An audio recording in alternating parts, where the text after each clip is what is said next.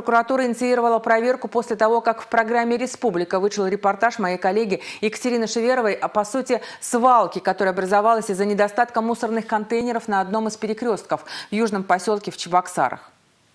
Горожане обратились в Центр управления регионом и рассказали о том, что на пересечении улиц Магнитского и Фадеева на месте сбора мусора на 8 улиц всего 4 контейнера. И, естественно, все они всегда переполнены. Репортеры республики встретились с жителями южного поселка, увидели разбросанные отходы и почувствовали, чем пахнет бездействие ответственных, вернее, безответственных лиц. Вот в таких нечеловеческих условиях, просто чудовищный запах, играют дети. Мальчик, давай не будем играть на дороге. Репортеры республики продолжат теперь вместе с прокурорами следить за развитием событий. В ближайших выпусках кто должен ответить за мусорные завалы и как решится проблема жителей Южного поселка.